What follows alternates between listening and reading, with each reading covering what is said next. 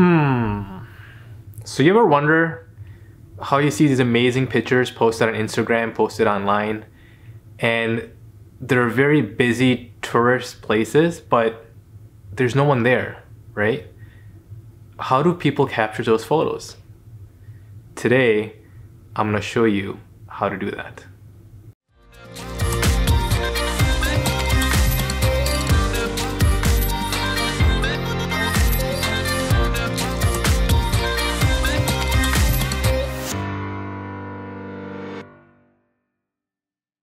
All right, so welcome back and let's take those magical photos that you all captured and let's figure out how we can get these people and these objects out of there so your picture looks just as amazing as the photographers that post online and you wonder, how do they do it? Do they get up at five in the morning and go take pictures?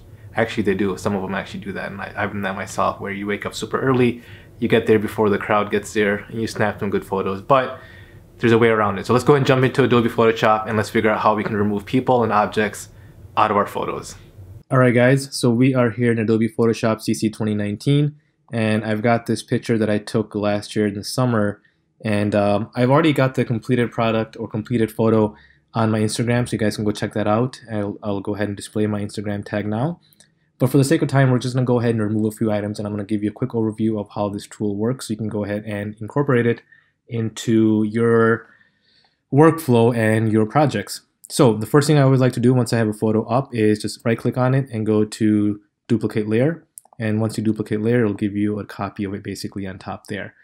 The next thing that I like to do is just quickly scan the photo to see what areas I want to be able to remove. So we've got a seagull here in the sky. Otherwise, the sky looks pretty decent. We've got a boat or something here in the water, a boat here. We've got these floating things. We've got these buckets and we've got some people in the water that we want to be able to move. What you can do is you can go ahead and click on the lasso tool or hit L on your keyboard. So once you've got the lasso tool selected, you click and hold and you go around the item that you want to remove. And once you let go, it'll give you the marching ants. And go ahead and hold down shift and hold down delete. And it's going to go ahead and give you this fill.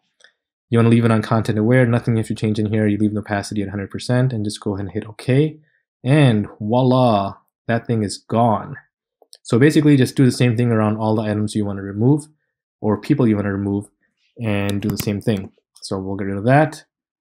We'll get rid of this as well. Again, click and drag, go around and shift and delete. Now, this is one way to do it. The second way to do it, before I get into it, what I want to show you guys is how this tool actually works. So when you select an item or an area that you want to be able to remove, what it's going to do is it's going to scan around that particular item to see how it can replace that image that you want to replace. So this time with just the, the, the lasso tool and hitting shift and delete is working perfectly fine.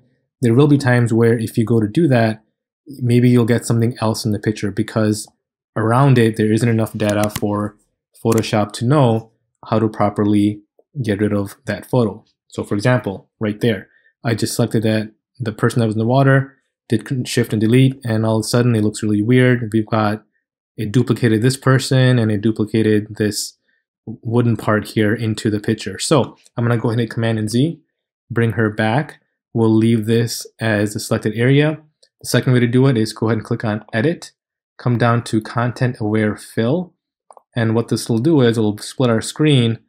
It'll show you a preview of the photo here, and because my monitor is kind of small, I'm gonna have to scroll over and you'll see a green portion that it's selected, highlighted.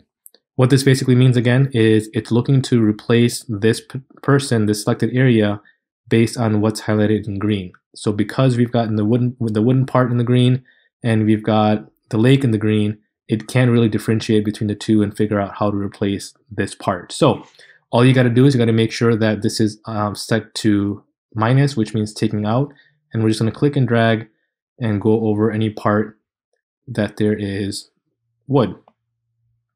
So we're just going to go ahead and get rid of some of this area.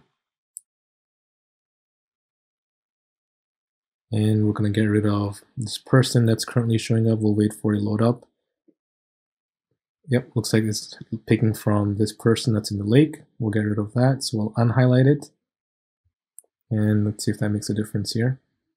Looking a little bit better, but obviously we've still got this wood part, which looks like it's coming from here. So let's go ahead and remove this as well. And the bucket, so we don't want the buckets showing up. Wait for the preview, and look at that, that's gone.